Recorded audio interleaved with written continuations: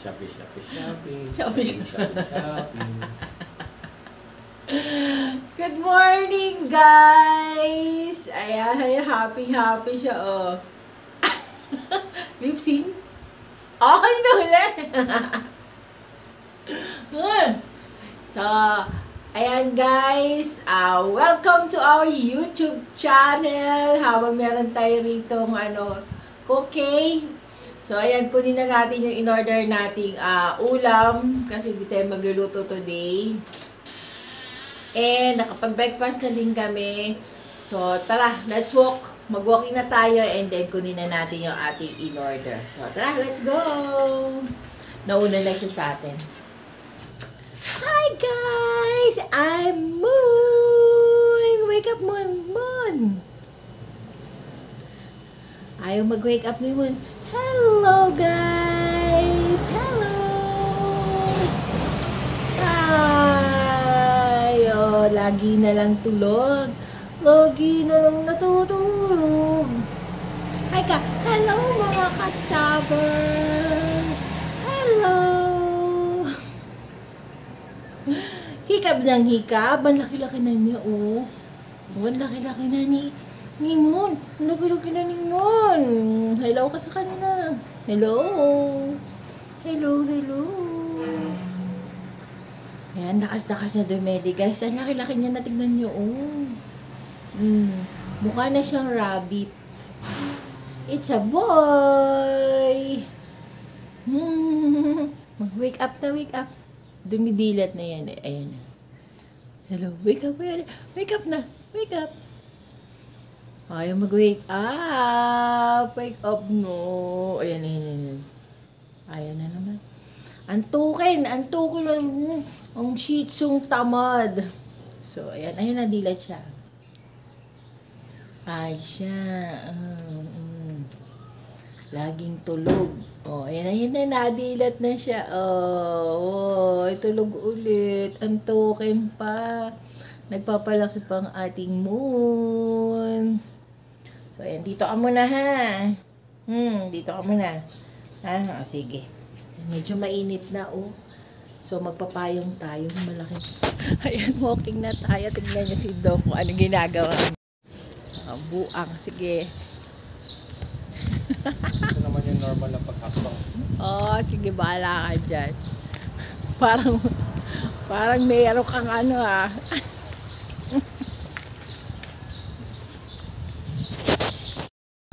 so, ayan, nag-walking na tayo. Yan, si Don kasi, naglalakad siya parang, ano, ewan. Ayan ah. Ano ba yan? Ayusin mo lakad mo. Ito medyo malilim pa. Kaya, hindi na tayo nagpapayo. Pero may dala naman tayong payong. Kanina dun sa ano mainit eh. So dito hindi.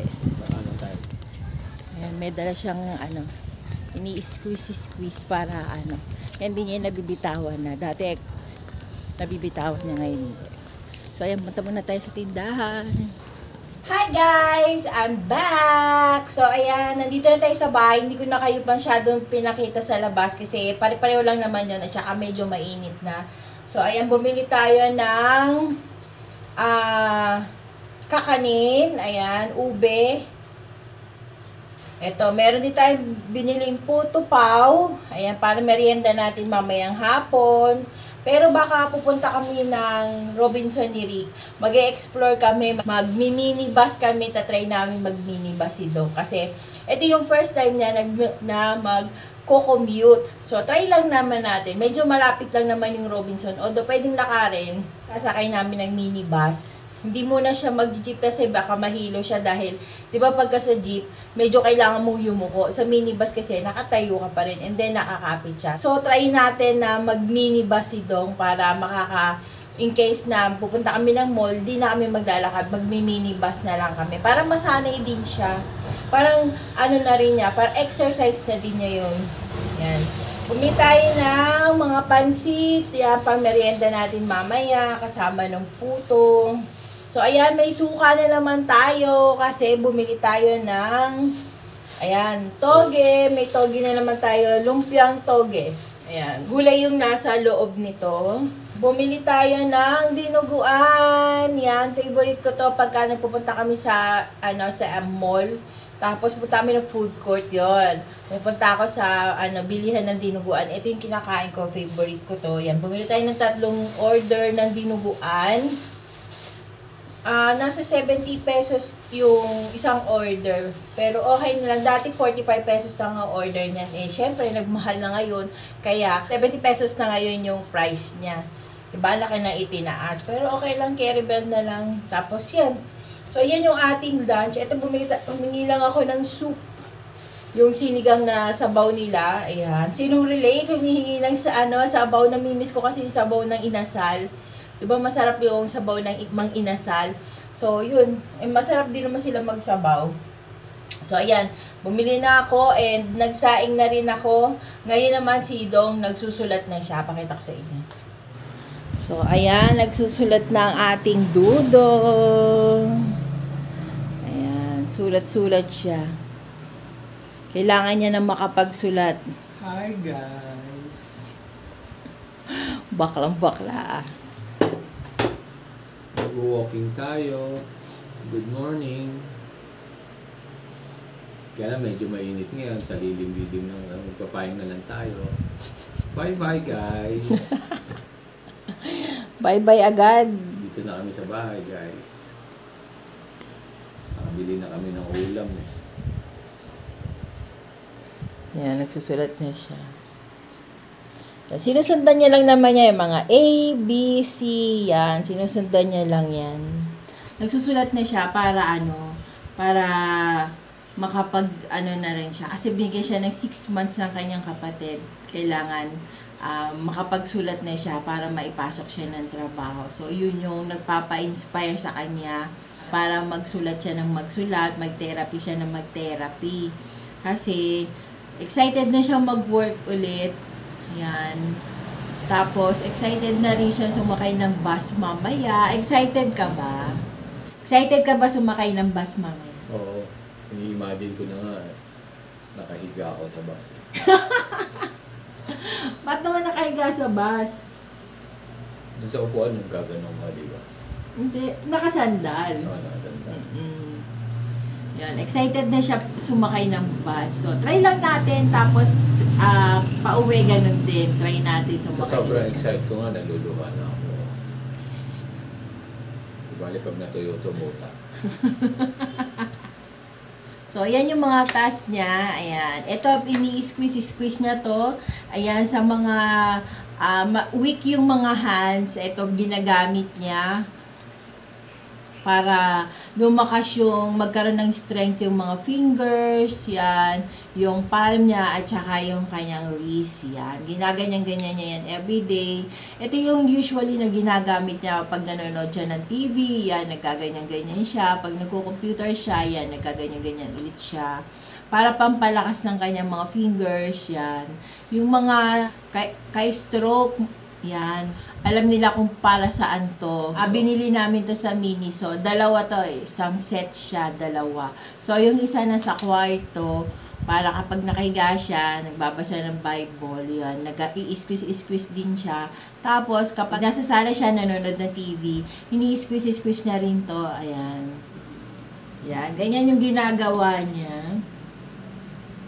Yan. Yan, nag squeeze niya. Ganyan siya nag squeeze di ba? Para lumakas na magkaroon ng ah, lakas yung mga fingers niya. Ah, yan yung kanyang everyday na ginagawa. Ngayon, ngayon kasi nagpo-focus kami sa hand niya, hand therapy. Nagsusulat siya. Yung ibang mga task niya, yun, ah, pagka free time, ginagawa na niya. Pero usually, mas marami kami ginagawa ngayon sa kanyang mga fingers. Kasi, Ah, ang walking na lang yung para sa kanyang mga legs and foot, sa kanyang mga paa. Yun, walking kami. Nag-walking kami sa umaga, nag-walking kami sa hapon, and then nag-walking kami. Pero saglit lang, ah, parang isang ikot lang sa gabi bago matulog. Kasi mas masarap siyang matulog kapag kapagod ka. Nakapag-walking ka. Tapos yun, matutulog ka na. Yun, masarap siyang matulog ma nakaka-relax siya. So, yun yung ginagawa namin. Bali, tatlong beses na kami ah, nagwo-walking sa isang araw. Pero ngayon, since magsa-summer na, baka dapat ang walking namin is mas maaga. Kasi medyo mainit na pagdating ng mga 8, 9, mainit na siya. Usually kasi nag-walking kami ng mga 8.30, 9 after breakfast namin. Walking kami, ganun. Kasi hindi naman heavy yung breakfast. Nag-walking kami ng ah, after breakfast na. Kasi kailangan naming uminom ng gamot eh. May maintenance din kasi ko, may maintenance din si Dong. So, kailangan naming habulin yung kung anong oras kami uminom ng gamot kahapon, dapat same lang din ang pag-inom namin ng gamot ngayon. So, oh, okay yan ah. Good job. Yan, tama yan. Ayan, nakakasulat na siya.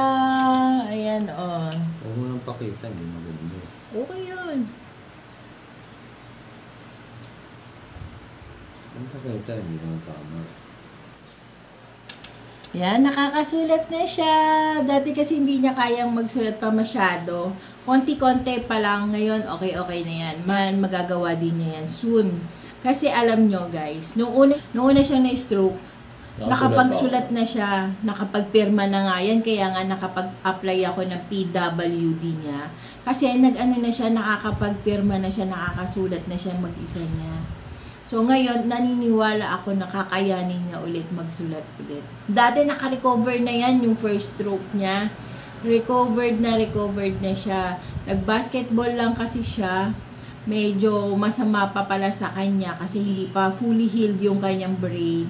So, nag-basketball, bawal pala ang nagba-basketball sa mga na-stroke na kasi masyado siyang, masyado siyang strenuous. So, X tayo sa basketball, guys. X, hindi pwede. Masyadong strenuous. Yung mga strenuous activities, hindi na siya pwede sa mga stroke patient na naka, nagre-recovered. Kasi, ano siya, ah masyado siya nakakapagod. Dapat, ah, mapagod mo yung sarili mo. Pero, the, the way na hindi siya sobrang nakakapagod kasi ang basketball nakakapagod. Alam niyo yan, yung mga boys na nagba-basketball, ayan, alam niyo yan.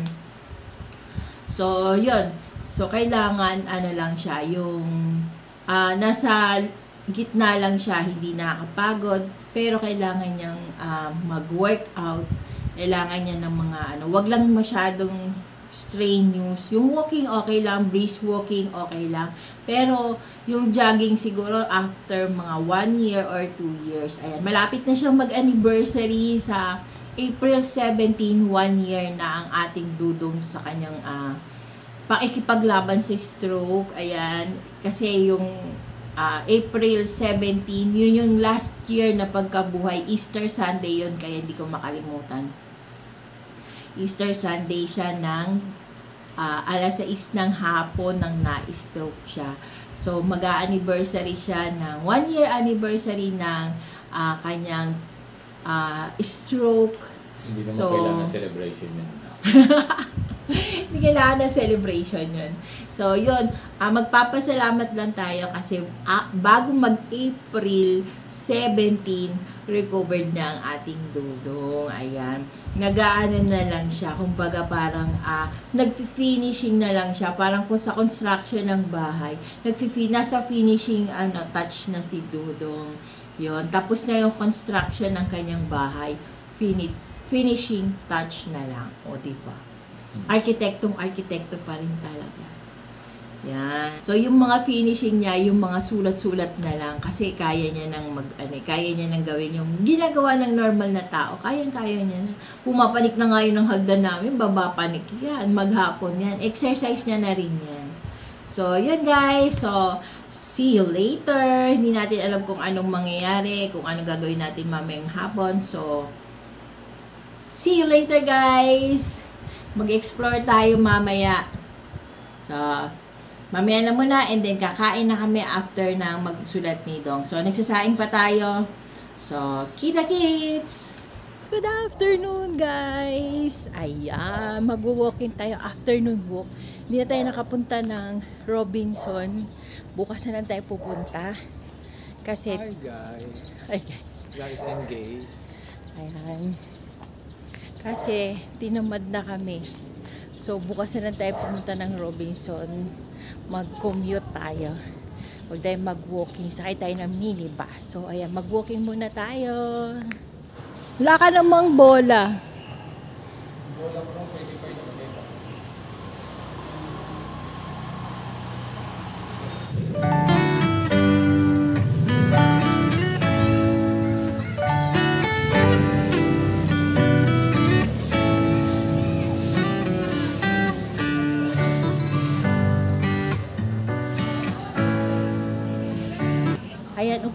tayo. Nandito tayo sa basketball court. Ayan yung ring. Ito niyo ba yung ring? Nakasabit yung ring eh. Yan. So, dito tayo. Paupo muna tayo. Napapagod na yung ating dudo. Nagsushooting siya. Wala naman siyang bola. So, ayan. Pahinga-pahinga. Tapos mamay ikot ulit tayo. Lalabas ulit tayo ng basketball court. Ngayon, pahinga lang muna tayo.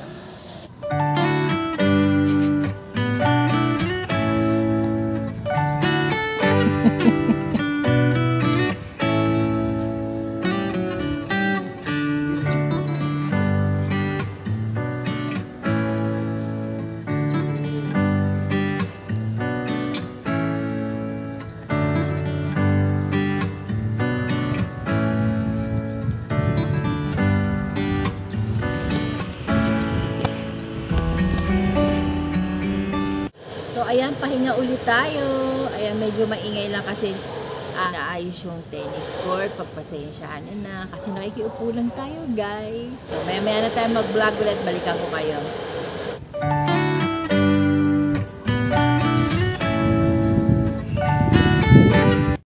Ayan, umikot na tayo dito sa ta.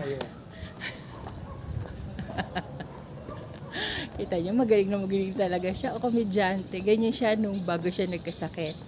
Komedyante. ang imperialista. So ayan, dito tayo sa taas umikot kasi maraming Tayo. oh. maraming tao dun sa baba. Ayun, dami ron. May mga bata naglalaro badminton, May volleyball. rin. Matatanda na, mga 80 anyos. Baliw ka. May 90 anyos din, wala. Wala. So ayan, dito na tayo iikot. So ayan, pauwi nga tayo. Uwi na tayo. Ito na yung ating Pumunta tayo. Ah, ito na yung ating last, last stop. Yan. Medyo pabundok kasi dito. Yan, makita nyo dun, oh, pababa. Ayan, pababa yan. So, dito pataas na. Yan. So, pahinga muna tayo dito sa puno ng mangga. Sa ilalim ng puno ng mangga. Ay, kapoy.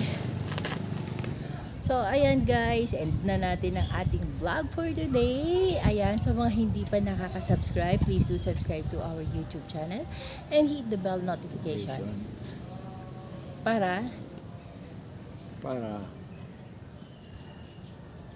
para updated ka para updated kayo sa lahat ng vlogs sa lahat ng vlog na bagong vlog na i-upload na namin. upload namin. So, ayan, hanggang sa muli guys. See you on our next vlog. See you in our next vlog. Bye! Bye! Sa ilalim ng punong mangga. So, bye-bye guys!